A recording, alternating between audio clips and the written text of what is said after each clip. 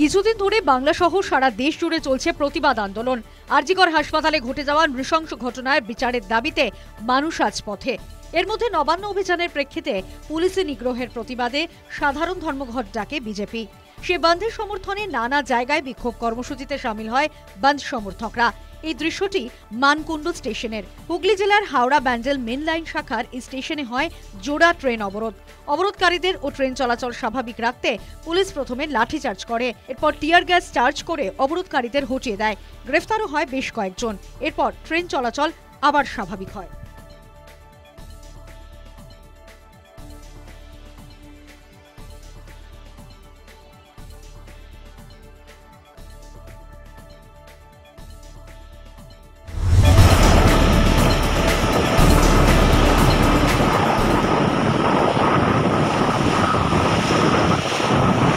ঘূর্ণাবর্ত ও নিম্নচাপের জোড়া ফলায় দক্ষিণ চব্বিশ পরগনা জুড়ে ভারী বৃষ্টি অব্যাহত। পাশাপাশি নদী ও সমুদ্রের জলস্তর বৃদ্ধি পাওয়ায় সুন্দরবনের অধিকাংশ মাটির বাঁধ বেহাল হয়ে পড়েছে। অভিযোগ, নামখানা ব্লকের একাধিক বাঁধে বড়সড় ধস দেখা দিয়েছে। এই অঞ্চলে নারায়ণগঞ্জে বারোশো মিটার মাটি বাঁধ তলিয়ে গেছে মুড়িগঙ্গা নদীতে। গত বছর তৈরি হওয়া সেই বাঁধ মাস কয়েকের মধ্যেই নদী গর্ভে। বাকি অংশ বড়সড় ফাটল, ফলে যে কোনো মুহূর্তে বাঁধটি পুরোপুরি ভেঙে যাওয়ার আশঙ্কা করছেন বাসিন্দারা। বাঁধ লাগোয়া এই অঞ্চলে কয়েকশো পরিবারের বাস। বাঁধ ভাঙলে প্লাবিত হবে হাজার হাজার বিঘে ধান, সবজি চাষের জমি, মিষ্টি জলের পুকুর। সব মিলিয়ে টানা দুর্যোগে ভয়াবহ ভাঙনের মুখে নামখানা ব্লক। তবে সেচ দপ্তর পরিস্থিতির ওপর নজর রাখছে। আবহাওয়ার উন্নতি হলে বাঁধ মেরামতির কাজ শুরু হবে বলে জানালেন জেলা পরিষদের সহ সভাধিপতি শ্রীমন্ত মালিক।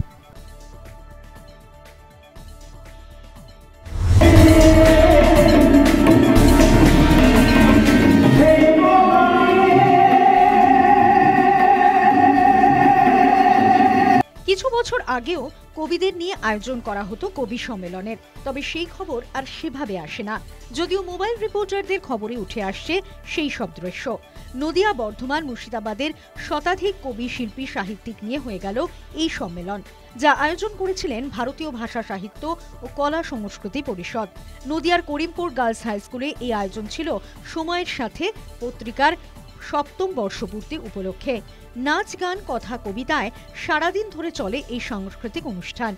সম্মান দেওয়া হয় গুণী শিল্পী সাহিত্যিকদের।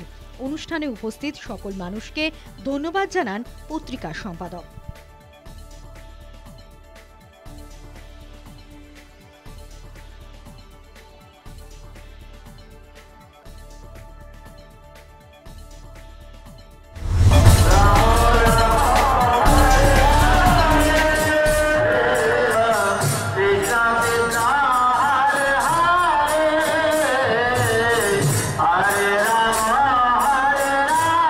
কয়েকদিন আগে জন্মাষ্টমী সাড়ম্বরে পালন করা হলো সারা দেশ জুড়ে।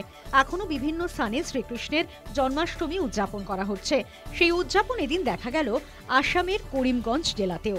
নাম সংকীর্তনের পাশাপাশি ছোটদের নিয়ে এক অভিনব আয়োজন করা হয়।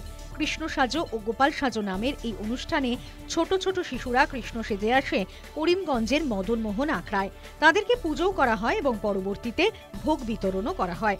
শিশুদের সুন্দরভাবে গোপাল সাজিয়ে আনতে অভিভাবকদের আগ্রহ ছিল চোখে পড়ার মতো।